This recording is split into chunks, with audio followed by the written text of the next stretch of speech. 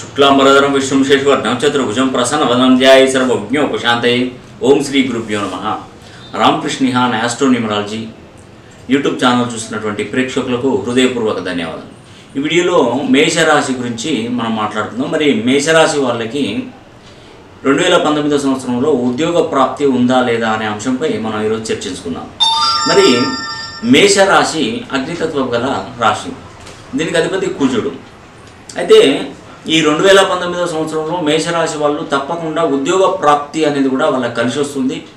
ఉద్యోగం కోసం మీరు ఎంతో ఆరాటపడి ఎంతో చదువుకొని ఎంతో శ్రమపడి ఎంతో కష్టపడి ఈ రెండు వేల పంతొమ్మిదో సంవత్సరంలోనైనా ఉద్యోగ ప్రాప్తి ఉందా లేదా అనే అంశంపై ఈరోజు చక్కగా చర్చించుకుందామండి. మరి మేషరాశిలో పుట్టడమే ఈ రెండు వేల పంతొమ్మిదో సంవత్సరానికి అనుకూలంగా మారింది. ఈ రెండు వేల పంతొమ్మిదో సంవత్సరం మాత్రం దయచేసి ఎవరు కూడా మిస్ చేయకండి. ఈ యొక్క క్షణాన్ని మనం మిస్ చేసినా కూడా అది టైం గడిచిపోయినా కూడా అది మళ్ళీ మనకు తిరిగి రాదు. అలాగా ఈ యొక్క మేషరాశి వాళ్ళకు నేను పదే పదే చెప్తున్నానండి. అయితే ఇక్కడ మనకు గ్రహకూటములు ఎలాగా ఉన్నాయో మన పేరులో ఉన్నటువంటి అక్షర బలం కూడా అలాగే ఉండాలి. అదేవిధంగా మనకు ఉన్నటువంటి స్థానాలలో కూడా ఈ యొక్క స్థానాలు శత్రు స్థానాలు ఉంటాయి పాప స్థానాలు ఉంటాయి నీచ స్థానాలు ఉంటాయి. మరి మనం ఎంత కష్టపడినా కూడా ప్రయోజనం లేకుండా ఉండే చేసే విధంగా కూడా కొన్ని గ్రహ స్థితిగతులను కూడా మనల్ని ఇబ్బంది పెడుతూ ఉంటాయి. వాటిని ధైర్యంగా ఎదుర్కొని ఈ రెండు వేల పంతొమ్మిదో సంవత్సరంలో ఉద్యోగ ప్రాప్తి అనేది కూడా మీకు ఖాయంగా మీకు తెలియజేస్తున్నాను.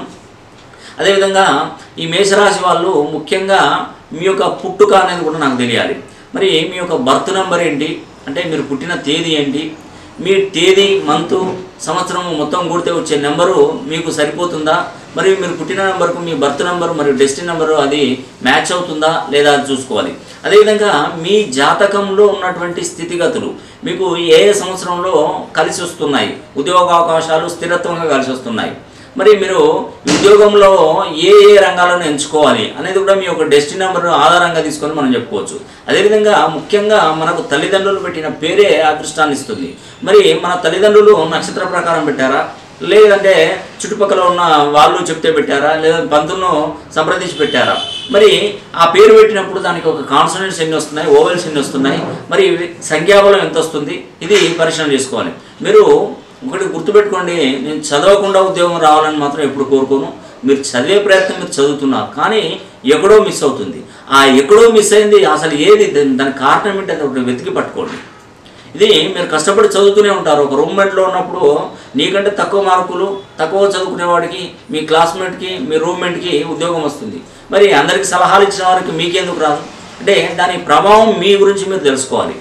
వాళ్ళ తల్లిదండ్రులు పెట్టిన పేరులో అతను పుట్టిన date of birth destiny number కొంతవరకు మ్యాచ్ అయింది. అందుకే అతనికి ఉద్యోగం వచ్చింది.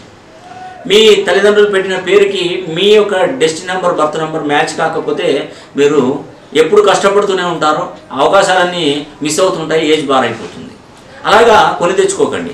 దయచేసి ప్రతి ఒక్కరికి ఒక బలం అనేది ఉంటుంది. ఆ బలాన్ని మనం తీసుకొచ్చి మీ పేరు సంఖ్యాబలంలోకి మార్చినట్టయితే తప్పకుండా మీకు యోగం కలుగుతుందని కూడా ఈ వీడియో ద్వారా తెలియస్తున్నాను ఈ వీడియో కనుక మీకు నచ్చినట్టయితే లైక్ చేయండి షేర్ చేయండి కామెంట్ చేయండి. సర్వే జన సుఖినోభవం